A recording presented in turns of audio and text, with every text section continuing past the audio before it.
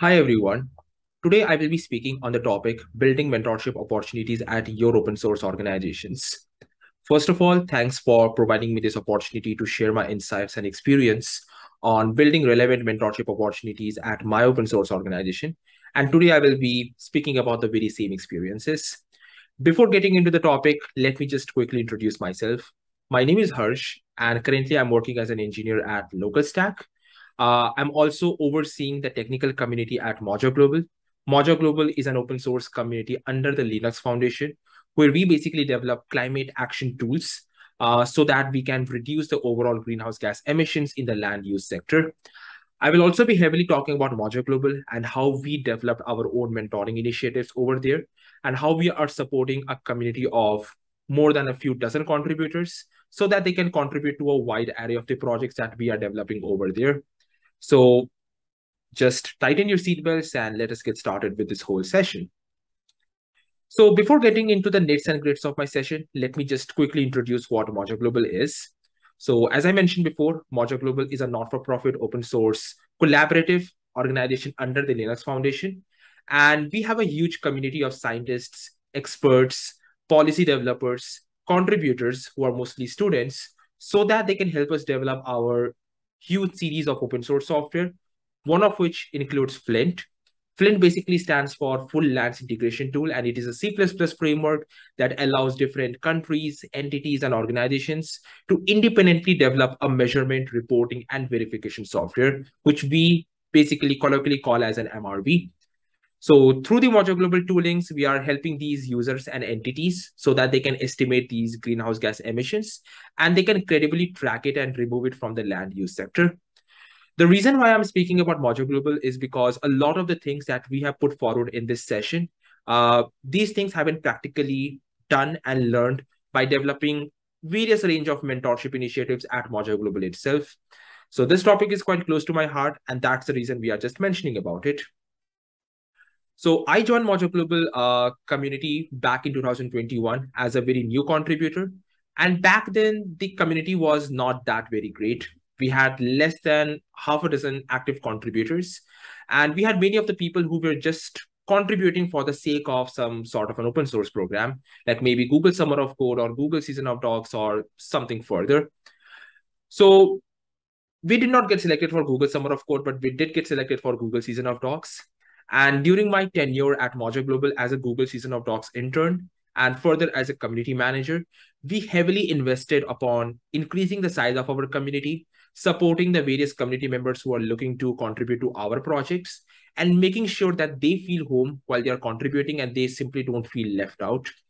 So the result of all of these initiatives have almost led us to more than 400% increase in just the last year. We don't have the exact numbers for this year, but I guess we have been simply growing over the time.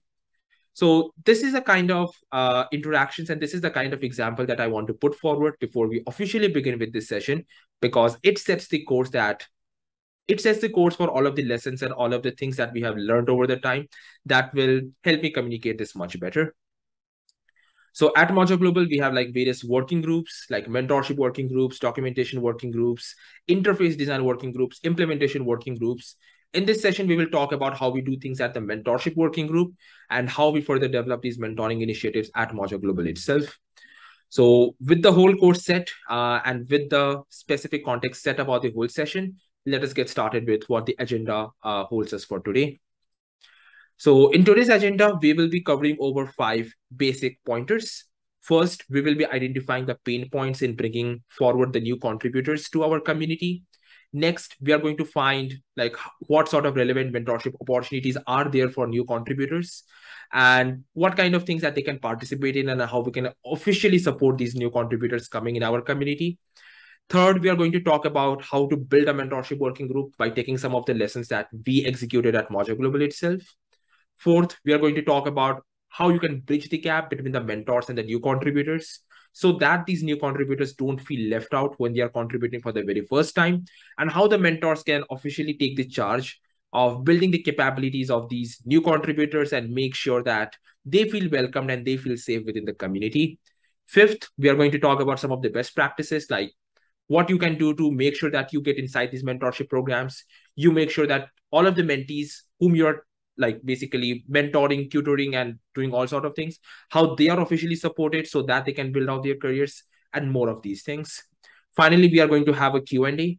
Uh, since this is a pre-recorded meetup, I will be available uh, on the relevant Q&A channels so that I can clear out any specific questions that are coming up about my talk or about anything in general about open source and mentorship.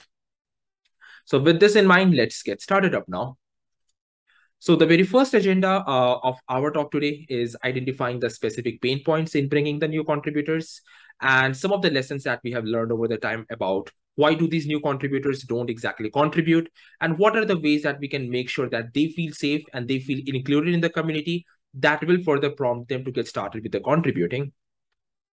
So let us ask the very first question to us. Uh, why exactly do these open source participation matters? So open source, as we all know, uh, it's a collaborative model to develop software. And it can include various aspects of software development, not just coding, but also some no-code contributions, which might include documentation, bug triaging, user interface development, user experience development, product management, and much more. So open source, which was obviously regarded as a one-dimensional aspect earlier, where people are just hardcore software developers committing a lot of code to make sure that this this project exactly has a functionality that you might expect them to. Now open source development has multiple separate dimensions altogether. And this makes uh, it even more easier for people to contribute because now everyone can feel included in the, in the community. They can be software developers they can be designers they can be documentation writers and everyone can feel free to contribute in whatever way that they can. So the reason why open source participation matters the very first point is that you get to fix these bugs, these issues, these enhancements, these feature requests collaboratively and by reducing the overall risk. If the whole open source project is a one man or one person show, uh, it might just lead that the one person is responsible for everything. They will be responsible for creating new features. They will be responsible for fixing the old bugs. They will be responsible for supporting the new uh, users who might be just having some troubles using that project. So we need to make sure that people are doing this in a collaborative manner so that we bring a sense of shared resource and we bring a sense of a shared responsibility as well. The second point is that we need to have shared development resources for reduced costs. Obviously, if one developer is working on that project, that will just make sure that the whole technical debt on that project will be accumulating over the time. Sometimes it can go for maybe a month or two. Sometimes it can even go for decades, where one single person is so much overburdened that the whole technical debt has been introduced to the project and we simply have no sense of how we can get out of it. Third, we want to build some training resources so that we can build internal capacity. Internal capacity can refer to uh, something of a capability building that every open source organization has so that they can fix the old issues, enhance the new ones, and also bring out some new features that can support an ever-growing community of users. And finally, you get to find a mentor for yourself. You can basically teach to learn. You can grow your reputation. You can go to various conferences just like me and maybe share your experience. And that can overall lead to a great participation model uh, within your community. So why exactly is open source participation good? Uh, it can this question can be answered from a lot of different perspectives. For users, you get to become a part of the community. You get to get some visibility. You get to attract some other users. Uh, you also get to like find relevant service providers. You also get to find some donors, and that's something that we're not going to cover out. Uh, the second, it is for the contributors because they get to provide some feedback. They get to improve the code, the documentation, the new features, and everything that can help improve that project. For maintainers, we need the open source participation so that we get to streamline our strategy, we get to streamline our direction, we get to build the tools that can meet the needs of the new users, the new developers, and we can also exchange our expertise with a huge community of users, developers, contributors, and much more so that the overall steering of the community is steered in the right direction. But now the dilemma for most of the new contributors, and sorry, not, not the new contributors, but the new maintainers, is that why are we not getting enough contributions? Like we just built a huge, fancy, great open source project. Uh, we have open sourced it. We have a really nice, maybe a README. We have a really nice website. But why exactly are the people not contributing? What is that that it is holding them out? So there are mainly three reasons for that, uh, as far as I've seen in my uh, experience. The first one, the contributors don't find enough supporting materials. Pretty sure that you must have some great uh, videos, some great resources, a great README, but in the essence of like trying to market your open source project, everything just ends up to be a marketing material and not something that the contributors will exactly find useful. So that's the reason why you need to heavily invest upon specific materials that can help improve your project. The first one to start with is obviously the official documentation. If you don't have something like a developer documentation, you don't have something that can allow a developer to set up the project on your local machine, you don't have references, you don't have guides, you don't have tutorials. Most of the people who start up being a contributor to an open source project, they first try to use that project themselves. And if they have no references, no tutorials, pretty sure that they will be lost in the first instance itself. Second, contributors exactly have no one to look up to. Uh, they don't exactly find the relevant mentors, the community navigators, the maintainers, whom they can ask a relevant question and basically get cleared about. And further, sometimes even if you happen to get some of your contributions merged, uh, you might not feel appreciated, you might not be celebrated, and this might just lead to further demotivation. If your contribution has, for some reason, been rejected, you might feel even further demotivated and you will just make a mental note that, hey, I'm not going to make a contribution anymore. So lack of open source collaboration can just open up a Pandora box of multiple ill doings. First, it will lead to a low adoption drive because no one knows about what your vision is, no one knows about what your practices are it will further lead to an overburdened uh, work schedule on maintainers because they now get to do all sort of things. They now need to build the new features. They now need to fix the old bugs. They now need to support the new users, everything. And finally, like the lack of contributions can just lead the existing users to turn away because since a maintainer is overburdened, since they have no one to like basically delegate their work to, most of the users will not exactly find themselves confident of using that project maybe ask yourself. You go to an open source project and you find over a thousand issues open and maybe over 500 prs open. Most of the users including me we will feel entirely demotivated to exactly use that project. And due to all of this the product will simply crumble under the heavy development scope and this will just lead to a shortened lifespan. Your project will be dead even before it has started. So to build an active and vibrant community we need to make sure that we have the following things. The first your project is easy to use and easy to understand and easy to for others as well. So if I'm building out a project and if I need to communicate it with others, it should be literally easy for me to get started with. Second, I need to build a contribution guideline. I need to build a community funnel so that I can bring in more folks who can feel included within the community. This is one of the first and the foremost things that I actually evangelize that if you're starting out with any open source project, better get started with a contribution guideline and better get started with a community funnel. Third, you need to build diversity in your community. A lot of the projects literally face poor diversity, poor representation of minority groups. And this can further lead you to like lose out on some really great ideas uh, that can further improve your project. And finally, you need to make sure that your project enforces a code of conduct. A code of conduct will literally help you to focus your synergies on the right things and also weed out the bad actors because not everyone is really nice online. And you really need to make sure that the good people don't turn away because of the bad actors. So bringing out a code of conduct can literally make sure that people feel welcomed uh, into your vibrant community that you're building right now.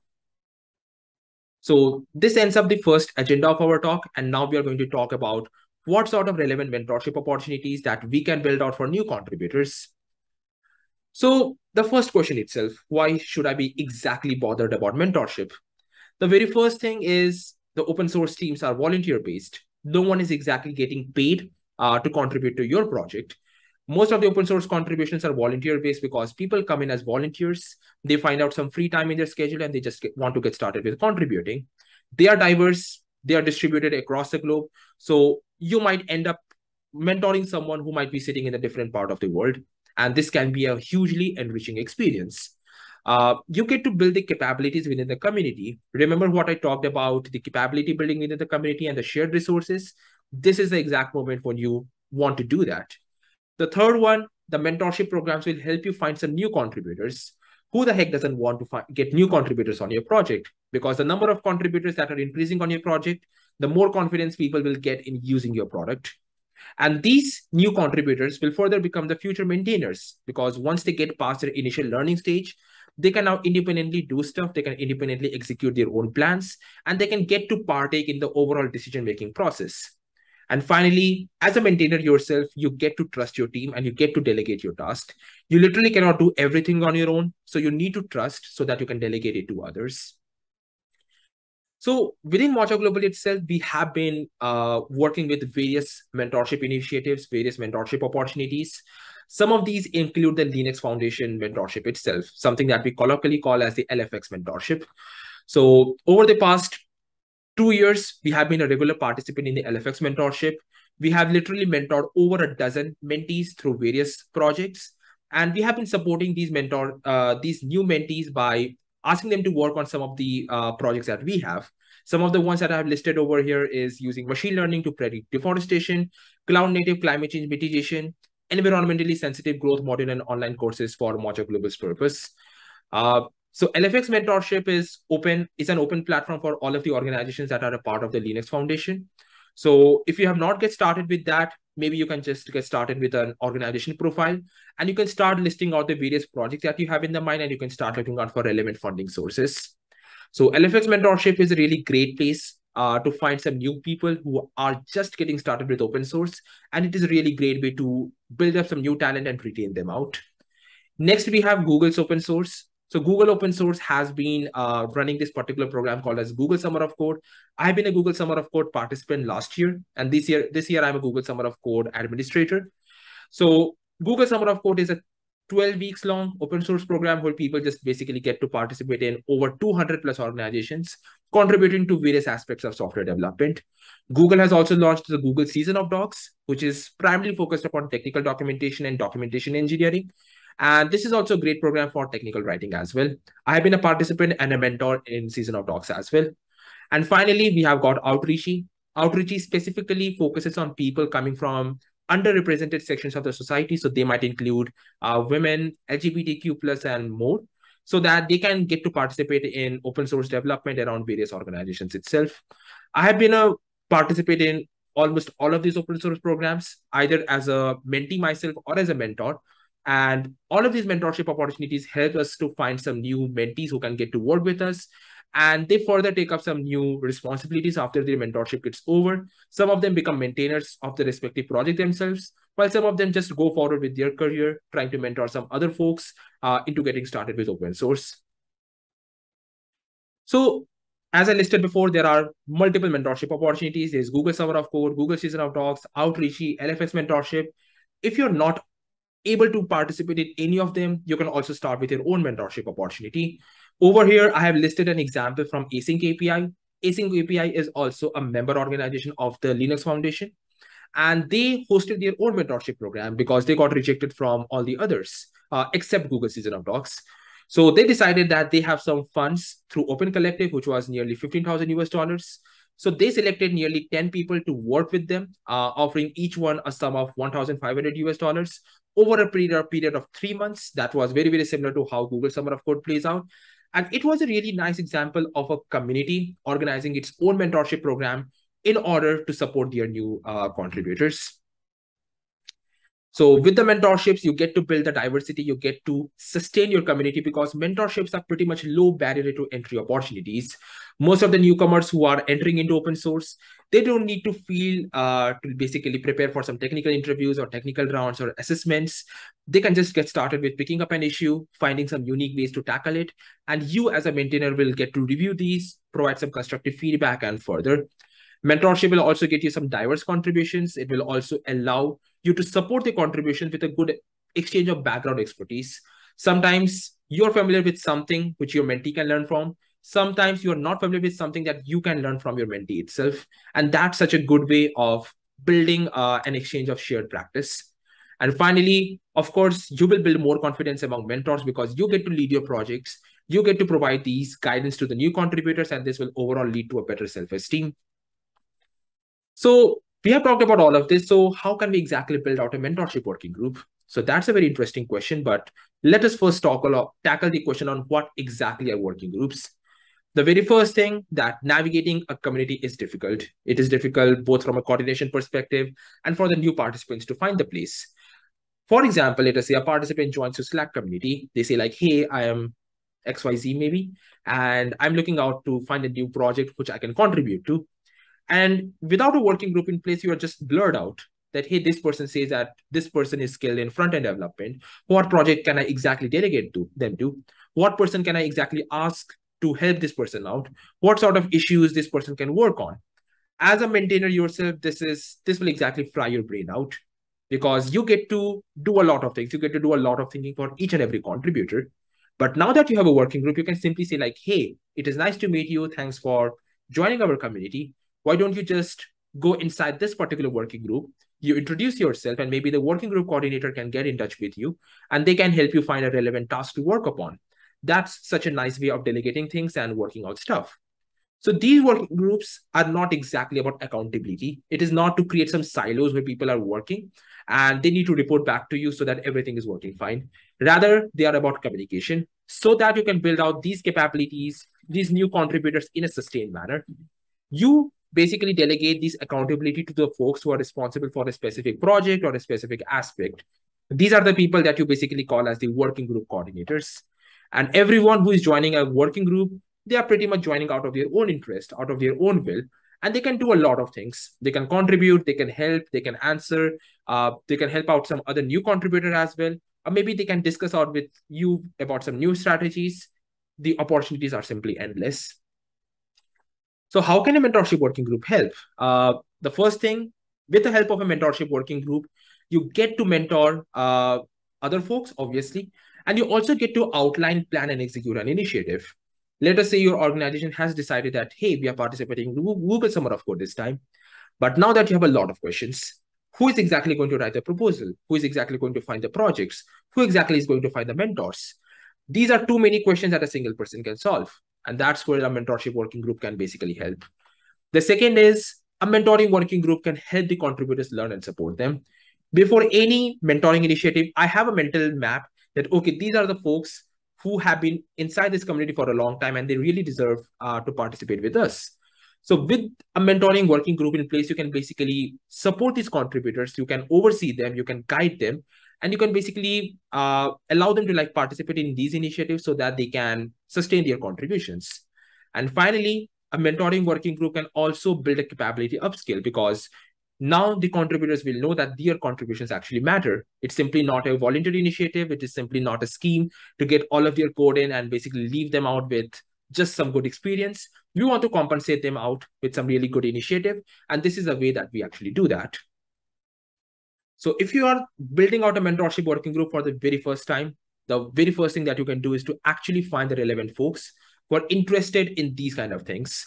Not a lot of the software developers are actually interested in planning, execution, evangelism, and all sort of those things. But you really need to find out the volunteers who are exactly into these kind of stuff. They need to be interested in mentoring. They need to be like highly uh, diverse.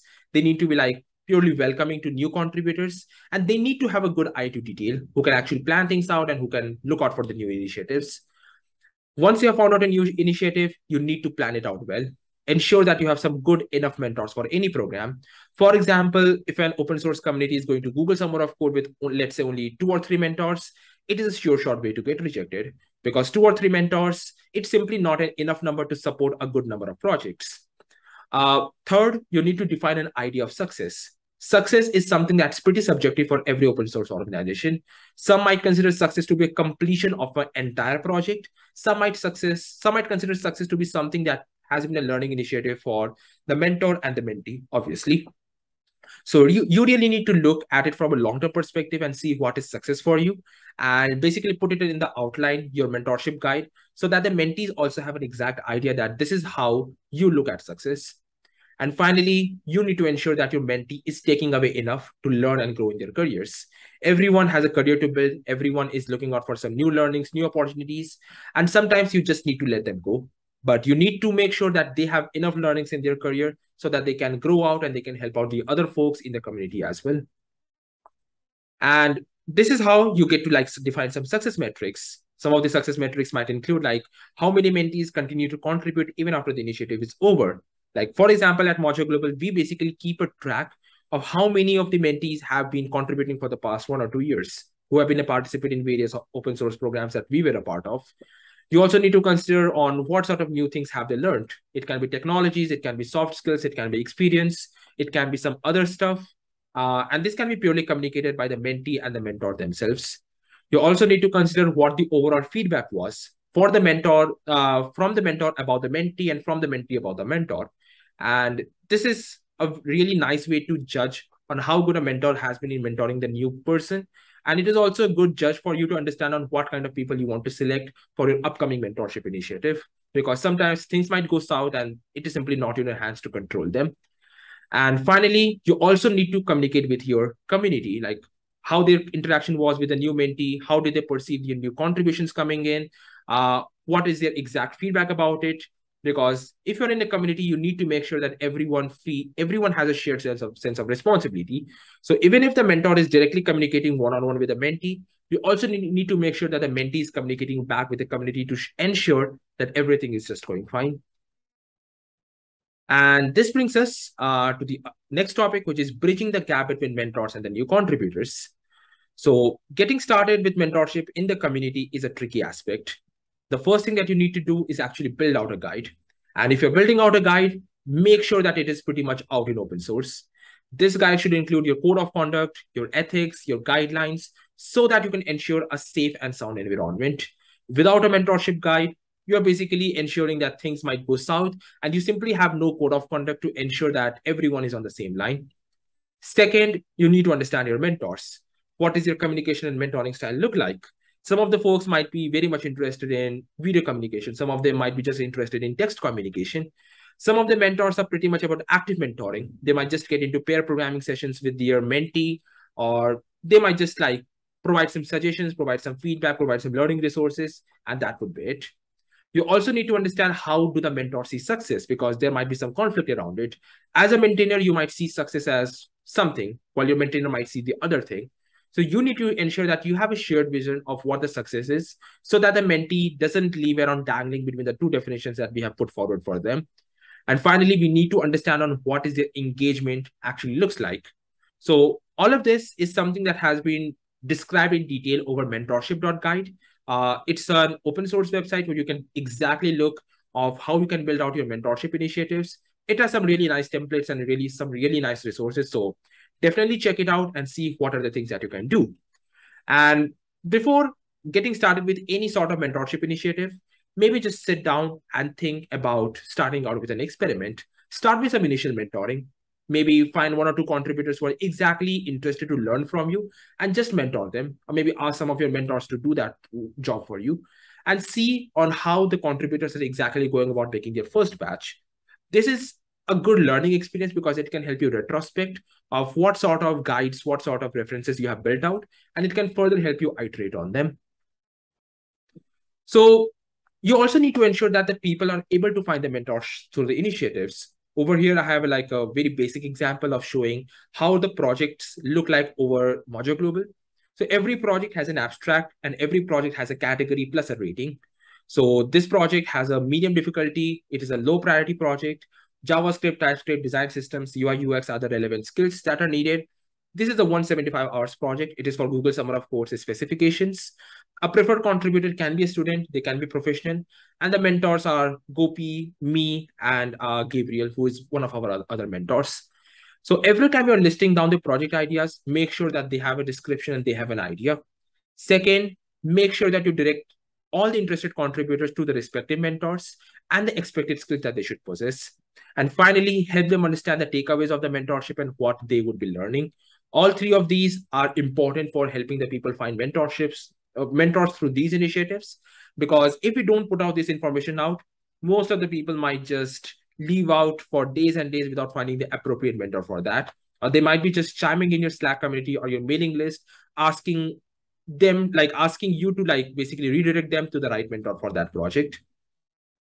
So what would the mentor share? They might share a lot of things. They can share the knowledge, the kind of uh, things that they know about. It can be related to the domain. It can be related to something out of the domain. They can share their experiences, might be something that is related to the work experience or the kind of projects that they have worked upon or the kind of things that they know about. They might share some words of encouragement. And this is something that everyone needs in our day-to-day -day life, uh, from a junior to a senior, obviously. Uh, they can share some advices. These advices can be obviously about the career, about their studies, or maybe something that they're exactly planning out to do further. And finally, they can share them a direction and a goal. A direction is necessary to make sure that the mentee is successful in their project or in whatever initiative that they're a part of. And they should feel aligned about a goal that they basically want to achieve. Mentees can also ease this process. The first thing that they can do is like they should be doing their own research, which is like DYOR. So every time they should be prepared with the essentials and have an understanding of what exactly they are looking for. Second, they need to help themselves. And this is a golden code that if you're helping yourself, the others might find easy to help you out. So understand your needs and requirements before chiming in to find a mentor. Uh, for example, when I was starting out, I really wanted to learn about documentation development. And this is how I got into Google Season of Docs because I really understood that this is something that I want to learn and I want to understand. And I found myself an opportunity which I can capitalize upon. Finally, do relevant follow-ups. A lot of the mentors have a lot of busy things going on in, in their life. They might be busy with the project, they might be busy with their job, or they might be busy with their family. So you don't really need to ask your mentor to follow uh, up with you. You should be like doing relevant follow-ups with your mentor or maybe anyone who is involved in that particular project, maybe even the community, so that you can let them know your status and what exactly you are planning on next. It is a good way to share your blockers, share the things that you are planning out, and some of the things that is on your mind so that the mentor can basically clear them out before you move on to the next thing. And finally, we have got the best practices while organizing any mentorship initiative. So the very first uh, is building out the relevant contribution project ideas. This is something that we have already discussed before. So before writing down any sort of a project idea, make sure that you're brainstorming with your maintainers, with your mentors, and you have defined a fixed goal for your project. Second, understand the need of your projects, the kind of the skills that are required and the kind of uh, skills that a mentee should be bringing. You can also add a separate note about what kind of things a mentee would also be learning because mentorship, after all, is a learning effort. Uh, it is not something that the mentee would know each and everything about your project. There might be something that you know about, and this is exactly what you should be communicating to them. And finally, try to build out a shared ownership for the mentee and the mentor so that they can discuss out, they can brainstorm, they can collaborate, they can do a ton of things after all. So once you have done all of this, define the mentorship funnel, find out relevant ways so that you can recruit the mentees.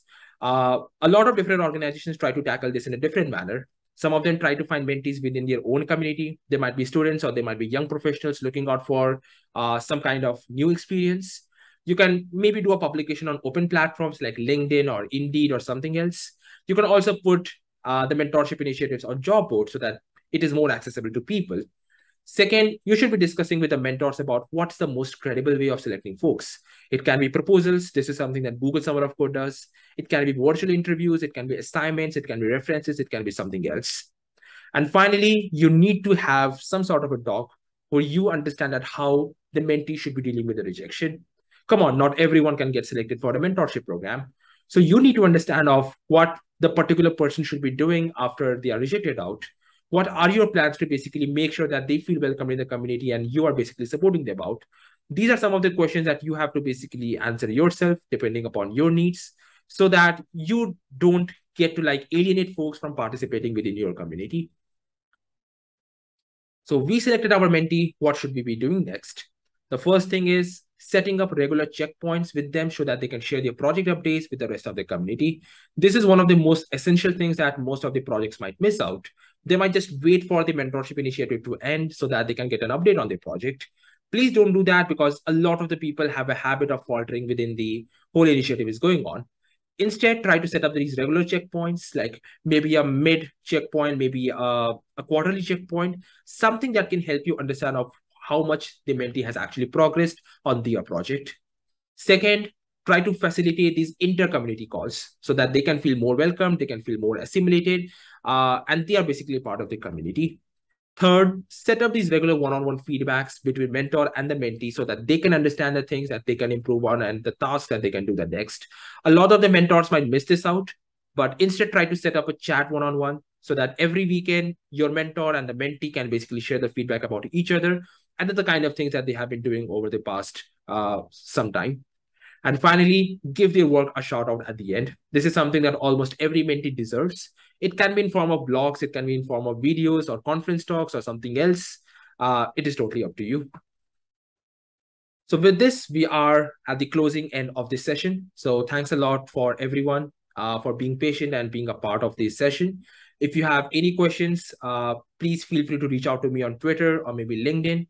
Uh, you can just find me by my initials uh, or just by my username, which is Harsh uh, underscore Casper. And that would be it. Thanks everyone for being a part of this session.